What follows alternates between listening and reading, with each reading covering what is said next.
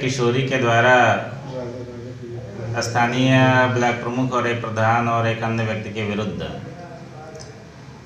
यह आरोप लगाया गया है कि उसके साथ सामूहिक बलात्कार हुआ है और इस प्रकरण में अभियोग पंजीकृत किया गया है।